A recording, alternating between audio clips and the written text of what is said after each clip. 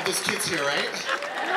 I love to swear, so I'm gonna try not to. Uh, but the kids need to learn early anyway. Oh my gosh, so happy Pride, everyone. Yes. Yes. I didn't even think this was gonna be full. I was like, I hope it cancels. I hope it rains. Um, I know, and then I walked by, I was like, oh, everyone's like ready for me and ready for some antics, right? Um, what? You came for me, baby? Mm, I love it. We're all my gay friends. Put up your hands. All my gay friends. You guys are not my gay friends. Those eyes. Thank you, men, for coming out. I just, I was making fun of you guys at the last brunch. I was like, my friends don't support me. And here you are. I love you guys so much.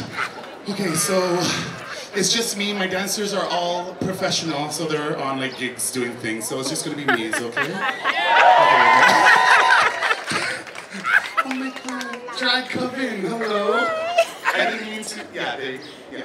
They're, they're professional, and they were like, we can't be there for you. Oh, we'll always be in the dirt with you, don't worry. whatever, whatever. But I will perform for you.